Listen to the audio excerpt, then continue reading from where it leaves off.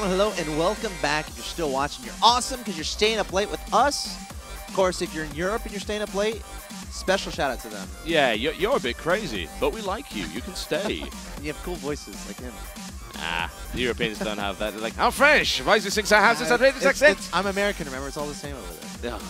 You uncouth barbarian. I know. All right, players are ready. Let's go ahead and jump into game number two. Of course, um, we're watching Last versus Killer. This Yes. is we're nearing the end again of day number two. We're trying to find out which guys are going to make it to the round of eight. Six have already been selected. No Zerg players. Yet. Can we get one in there with this match, Mr. Dolphis? Well, it's a David versus Goliath story right now. There's no real doubt about that. Last currently up one game in this particular series. The other Zerg player fighting for his life against Polt right now, and apparently doing pretty well for himself. But it's still to play for. I mean, it's, it's, you're playing against Polt. I mean, Yeah. come on, it's it's not going to be easy regardless No, of what happens. I mean, this is the guy that in Wings of Liberty was the last man standing in most of the major tournaments towards the end of that era. He was the only guy to consistently beat Zerg, and now he's got new toys to play with. He does. So it's, it's an insane idea. However, there is still very much the possibility of the upset, and it could be brought to you by this guy. From Clarity Gaming in the Red Trunks playing Zerg to the southeast of Akilon Waste, it is Killer. and his opponent, who is in the top left of Akilon Waste. The Blue Terran player showing commanding drop play in game number one, showing off his strong macro style, representing Team STX coming all the way from Korea. He is last. There he is. But if he keeps playing like that, he's going to be first, which would be confusing because that's a player for LGIM. Korea, so stop it! Calm Good lord. and smooth. He just he just doesn't care. Uh, Oh. as, yeah, yeah. We're, this is I mean this is pretty common on Akilon Waste. Honestly, the proxy barracks play here, followed up there by the refinery on 12. So this is not as extreme as the 888. No. but it is a 12 barracks, 12 reactor, which 99.9% of the time means it's going to be a proxy Reaper, and that is annoying to deal with. That's a very fast drone scout, though. from, It is uh, actually, and he's going to see. Look at that reaction. He's not even taking a hatchery, man. this is so smart. I love it. He's taking pool and gas, and he's not taking a hatchery as of yet. Now the question is, even taking pool and gas, because that was still like on about 14 supply. It's not like we're talking a 10 pool here. Sure. It's still going to be hard to deal with, especially with someone with Last's micro. Yep. Now this is actually really interesting because I'm wondering if Killer came into this game thinking his opponent would do a similar strategy to last uh, to the last game, the Maybe. very fast command center, Yeah. which something like this would theoretically work against. Um, now eh, maybe that that drone was scouting, looking out for that. Maybe the second thing is looking at for okay, is he taking a gas? Okay, it's a Yeah. proxy reaper because it works. It works well against that as Yeah. well. You know, Last has to scout this out, and he's going to do it. So he needs to make a bunker right away at the top of his ramp, and then send that Reaper straight back home uh, when he feels like it. But I, I don't think he's going to be in too much danger from whatever Killer has in store. Um, but anything can happen here. We'll see. Yeah, it doesn't seem all that likely, but the, the danger with the Proxy Reaper is that if a sudden surge of units comes out, then you're going to have a hard time dealing with it because you can't really get back there. If you lose your Reapers and then the surge comes, you are in a lot of trouble. Usually the follow-up to this would be a fast factory producing Hellions to deal with that kind of counter pressure, but because it's proxy, it's still hard to deal with because you just you won't have the marine count on the ground. There's the factory I was talking about there to back this up. Yeah. But eh, again, last doesn't seem like he's in too much danger because of that micro. It's just it's so strange not to see a Zerg take that expansion. Yeah, it it's is. so late. It's Uh, going to be so delayed. yeah, I, I- mean, there's no Roach Warren down, there's No. no. Nest. It's not like he's going for just a one base bust. Uh, and, and it sounds ridiculous, but we've seen them work, and it can, from time to time, be reasonable. But oh wow, that's a supply depot block as well. This is this is not looking good. Well, um, I'm wondering if Killer thought it would be the more committed version as as far as the 888, but you know, last did this. It wasn't a super early barracks, as you said before. It- He's putting a command center down uh, after this. He he's building plenty of SCVs, so he definitely has a follow-up plan. But the good news is for Killer, he's going to force that barracks to lift off. That barracks is going to be out of service for the near future. For a while, yeah. He's going to have speed lings, so he's going to have map control in, in the early part of this game. He could theoretically delay that astral expansion from going down for at least a little bit. Um, but ultimately, you know, it is a bit of a sacrifice getting those early lings out. He has to try it because look at the Harvard. It's 22 to 17 right now. Yeah, Against it's a, a Terran player who's about to have two orbital commands. So Killer, I feel like he has to make something happen with these speedlings, or else he got him for, And you the know. bunker's already there. Nice shutdown on the Reaper there with the speedling, of course. Yeah. It wasn't able to get to the bunker. Nice little surround. There's still a couple of Reapers in that bunker. There's another command center going down behind oh this. This is ridiculous. Killer He- got a second gas, by the way. Yeah, he did, which, you Are we going to see follow-up Banelings? I, I would. I mean, I can't. What else would he follow up? I think that'd be a spectacular choice, given the I state think of the game I right think so. The risk is the widow mine. That's the real problem. Ah. and in fact, I mean, if you any guys who are watching both at the same time and also listening to both at the same time, which is skill, by the way, so It well is. done to that. It's possible. You will know that with these widow mines in the engagements with Polt and Life are popping like 10 banelings at a time. They are incredibly effective because those those units are so fragile. Even the smaller splash will kill the banelings. I, a roach push maybe, but he's going seeing up to a really here. lair, yeah. Yeah, and it's it's delayed.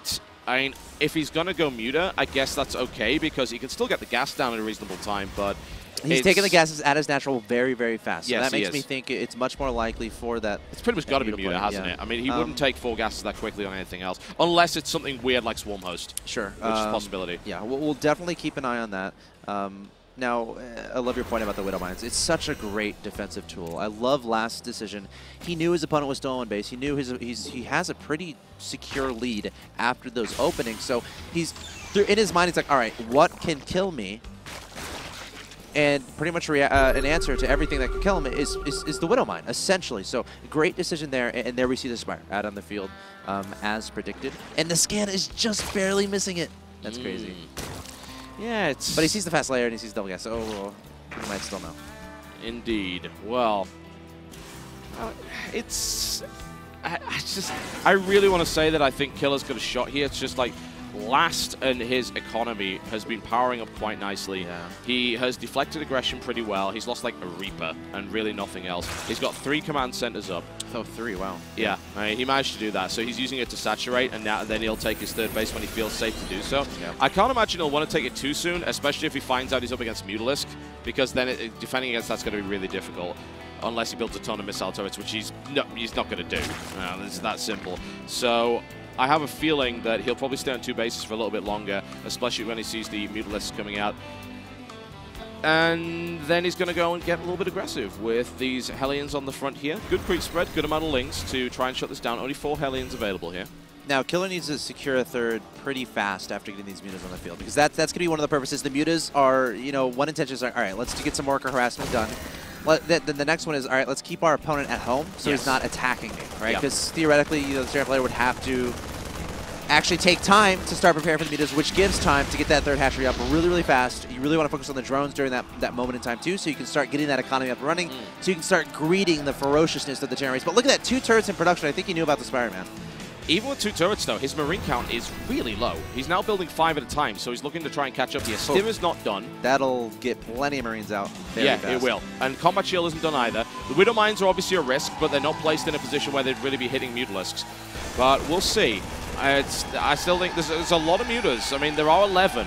That's Yeah. a reasonable number. He could do something with this. And this third base has just gone down and is most likely just going to have to leave. Oh, he was just a too slow there on the denial of the creep. Oh, that That's been so huge. unfortunate. All right. all right, here comes an engagement. Uh, he picks up a couple of Marines here Wow. and there. Wow. And that's, I mean, that was He might get some. SCVs here, too. He's going to get a few, I think. Uh, no, never mind. The Marines now stimming in. There are two medevacs, so he will be able to regenerate that health pretty easily. And it is- what we're going to see is a bit of back and forth, I think. These rocks aren't down. That's the really awkward thing here. With Yeah. spotters, this is going to be a nightmare. It's going to be incredibly hard to do. This base, it's probably not going to die, but No, it's it's pretty close. He's moving it close in to trying his Marines at position. He Those wants Marines to desperately break those rocks down.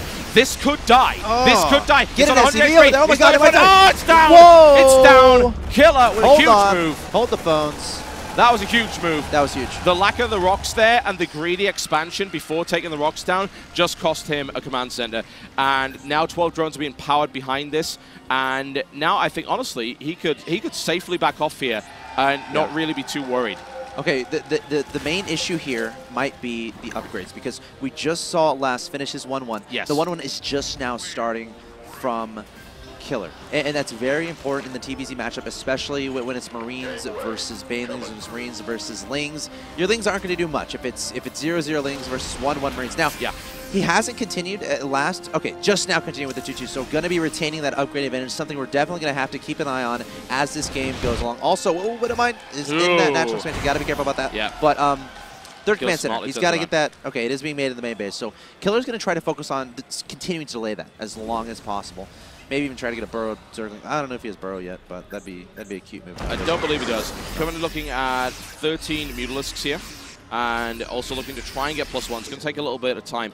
The concern, I suppose, is what is with the Mutalisks on the field, Yep. in theory, Last shouldn't be able to successfully drop, especially with that Overlord spread. That should be spotted and intercepted.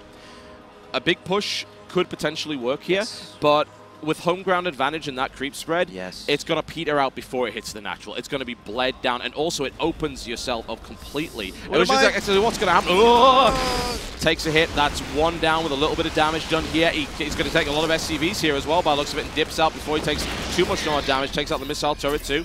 So he loses two Mutalisks for some SCVs. Not, worth not, it. It's okay. You keep. You remember, he's still keeping his opponent's Marines back home Yeah. and not attacking him, And that's which perhaps the most important thing, right? Yeah, that's very important But too. the problem is Mutalisk can't be in two places at once, and the drop is coming in. Oh, but the interception could happen. It's going to take a while for the Zoomies to get back. However, Lings are very fast, so they can get right into the main base. Yep. Again, compared to the Roach Hydra we saw last game, not as mobile. So Lings are going to be there, going to greet this. But again, upgrade advantage is Nice. non-existent. They're both 1-1, so uh, Killer should be fine here. Yeah, he should be okay. Drop comes in, and shame he doesn't have any Banelings to kind of shut that down. There and we he also hasn't knocked down his rock, so he doesn't really have much access there. Yep. And in the meantime, there's a push coming in towards the third sword, posturing, but now turning back. And so far, it's been an interesting game of these guys just been kind of hitting each other with wooden swords up to this point. Yeah, um, a, a much closer game to last. Now, the supply advantage still belongs to last. Yeah, I think that has a lot to do with his ridiculous macro. Uh, 2-2 is about to finish as well, so he's still going to have that upgrade advantage. So I feel like Last is still going to have a, slight advantage in this game. However, if Killer really really focuses on that creep spread, really keeps an eye on his opponent's medevacs, makes sure his mutas are in the right position, and gets a beautiful engagement when Last inevitably pushes across the map with his Marines, with his medevacs, and gets some solid connections with the Banelings, that's how this game can turn around in, in favor of Killer. Hmm, nice pick off of the medevacs there, but I think he actually lost a good number of Mutalisks to make that happen. The cleanup's going to happen eventually here. He has no Banelings speed. There we go. Yeah, he doesn't actually, which is really kind That's of odd. Really important upgrade Yeah, right certainly.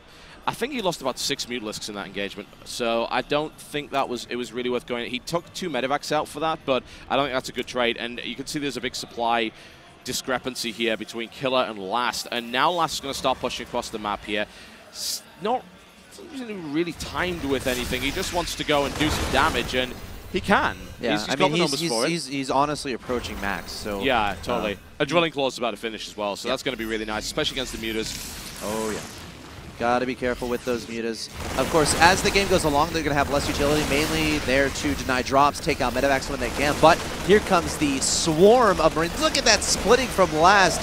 No creep is up here, so if you're gonna try to engage with slow Banelings, No, it's not gonna work against a player like last. But here he goes, gonna try to get us around with the Zerglings. There's the splitting from last, trying to stay away, and something killed all those Banelings. I think that was the Widowmine shots. Yeah, I believe so. This is what we are talking about earlier, wasn't it? Widowmines kill clumped up Banelings. Using the drilling claws to tactically position Widowmines as an anti-Baneling defense is hugely effective, especially when the Banelings don't have speed. Killer is trying to get a lot more units on the field. Ultralisks are on the way as well, but this base is going to die pretty much, almost certainly. And that drone, the drones are going to be obliterated as No well. Mutalisks are rammed in the corner. No Banelings here. There's a lot of Oh, medevacs. Look at this. These Marines aren't going to die. Oh, Total Biscuit. Oh, that's horrible. Sorry. That was just, that's a shooting gallery there Yep. for last. Yep, he's inviting those units to attack him, but as long as there's not Balins, because that's not going to do anything whatsoever to all those GG, Marines. All that's attacks. it. There's the GG last taking the 2-0 advantage here in this oh so important best of five. Again, to decide who will advance on to the next round of the MLG Winter Championship event again. It's the last Zerg player, the last non-Korean.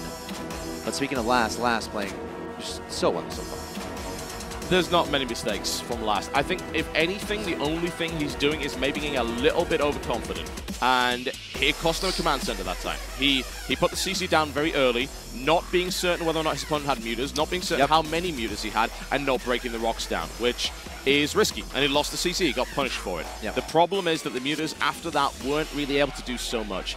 And then the engagement started rolling across, and he had been constructing SCVs for a huge amount of time. He had been building up that work account, and even after losing the third, rebuilt another one, and then starts to create that stranglehold position. And mistakes were made by Killer. No Baneling speed, possibly one of the most crucial. Yeah, I mean, honestly, a lot of it started from that, that opening. I mean, when you're when, whenever you make a decision to stay on one base for as long as Killer did, you you have to make something. You gotta do something. You, you have to Yeah. do something because if you let that Terran player, uh, last had three orbitals in how how much like very very quickly. So you know that risk didn't end up paying off for Killer. So. You know, the good news for him is he's not out just yet, but No. he has a, a, an A uphill battle, an, an uphill battle ahead of him. He's got to win three games in a row, guys. We're going to find out if that happens. Coming up next, stay tuned. You're watching Killer versus Last, the MLG 2013 Winter Championship.